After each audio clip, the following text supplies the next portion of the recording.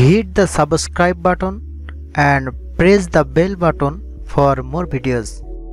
জিম্বাবুয়ের হারের স্পোর্টস ক্লাবে বিশ্বকাপের বাছাই পর্বের ম্যাচে সংযুক্ত আরব আমিরাতের বিপক্ষে টস জিতে ব্যাটিং নেমে শুরু থেকেই স্বভাবসুলভ ব্যাটিং করতে থাকে ক্যারিবিয়ান ব্যাটিং দানব ক্রিস হেনরি গেইল। প্রস্তুতি ম্যাচে আরব আমিরাতের বিপক্ষে গেইল লুইসদের ব্যর্থতার বড় স্কোর করতে পারেনি ওয়েস্ট ইন্ডিজ।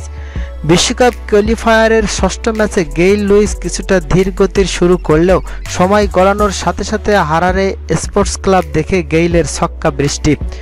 দলীয় অষ্টাশি রানের মাথায় একত্রিশ লুইস বিদায় নিল, ঠিকই ক্যারিয়ারের তেইশতম সেঞ্চুরি তুলে নেয় ছক্কা দানব। প্রায় তিন বছর পর তিন অঙ্কের দেখা পায় গেইল।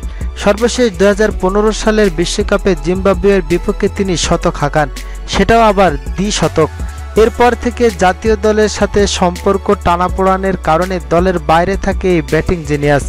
নিজের দিনে তিনি কতটা ভয়ঙ্কর রূপ ধারণ করতে পারেন, সেটা বিশ্বের বাঘা বাঘা সকল বোলারদেরই জানা। এবার পুস্কে আমিরা দেখল গেইল ঝড়।